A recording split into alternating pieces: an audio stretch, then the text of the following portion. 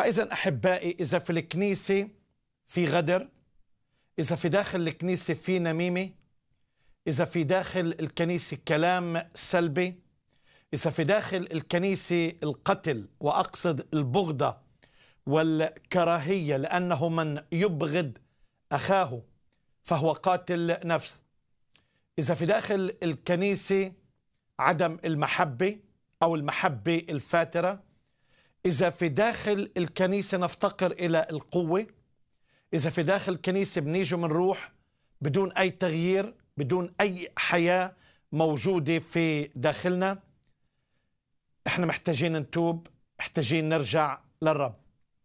كلام أرميا قال آباؤنا أخطأوا وليسوا بموجودين ونحن نحمل آثامهم. بتعرف أحبائي الخطية بتسبب الشر بتسبب الفساد البؤس والشقاء. بكلمات بسيطة الخطية بتسبب اللعنة والكذب بسبب اللعنة. لما مجتمعاتنا الكذب صار مثل شربة المي الأعمال السحرية الأعمال الشيطانية لما بنبتدي نسمح فيها كأنه شيء طبيعي في مجتمعاتنا وهنا بيبتدي الخطر. فمحتاجين نصرخ إلى الرب. ألا تعود أنت فتحيينا فيفرح بك شعبك؟ يا على التمني اللي كان بيطلب المرنم سكن المجد أرضنا. فإذا أولا كمؤمنين إحنا محتاجين نمتلئ من الروح القدس محتاجين نمتلئ من روح المحبة المحبة الفائقة المعرفة. هذه المحبة المكتوب عنها. لا نحب لا بالكلام ولا باللسان بل بالعمل والحق. احبوا بعضكم بعض بقلب طاهر وبالشده بشدة.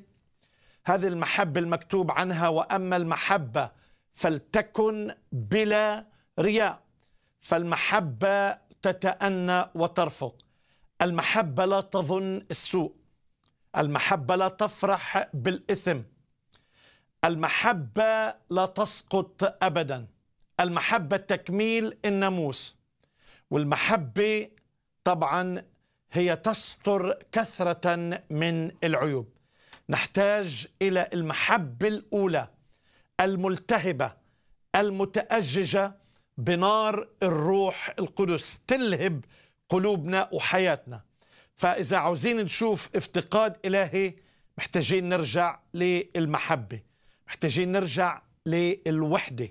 هاي الوحدة اللي بنتكلم عنها كتير أحبائي هو بالواقع إحنا المفروض إحنا واحد لأنه رأسنا هو يسوع المسيح رأس الكنيسة ولأننا اعتمدنا لجسد واحد وسقينا بالروح الواحد. أصلا التعليم عن الوحدة مش عارف زي الكلمة صحيحة إحنا محتاجين مش التعليم محتاجين التطبيق. نطبق الوحدة في حياتها في حياتنا. بهذا يعرف الجميع أنكم تلاميذي إن كان لكم حب بعضكم لبعض. هاي الوحدة أحبائي اللي بتدمر مملكة الشيطان. ساعتها الشيطان ما عنده أي ثغرة يدخل منها.